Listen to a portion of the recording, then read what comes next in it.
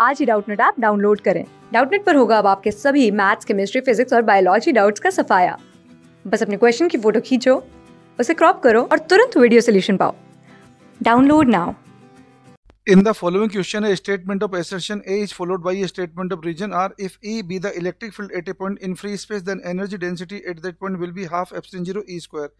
R. Electrostatic field is a conservative field. Energy density तो हम क्या है कि कंजर्वेटिव में बताते हैं और नॉन कंजर्वेटिव में बताते हैं। एनर्जी डेंसिटी की वैल्यू होती है एनर्जी डेंसिटी होती है एनर्जी पर यूनिट वॉल्यूम जिसकी वैल्यू होती है half epsilon zero E square कोई सा भी इलेक्ट्रोस्टेटिक फोर्स फ़ील्ड हो, उसमें एनर्जी डेंसिटी की value half epsilon zero E square ही होती है। तो energy density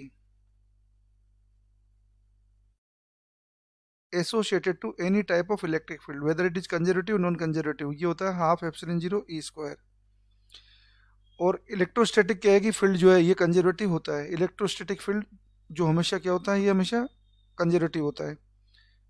तो यहाँ पे लेकिन क्या है कि एनर्जी डेंसिटी को ये जस्टिफाई नहीं करता है। तो यहाँ पे हम ये बोल सकते हैं कि एसर्शन रीजन दोनों करेक्ट हैं, लेकिन क्या है कि रीजन जो है एसर्शन को एक्सप्लेन नहीं करता है। इसलिए हम यहाँ पे ऑप्शन नंबर देंगे। Option number two class six से ट्वेल्थ से लेके NEET I I T JEE mains और एडवांस के लेवल तक।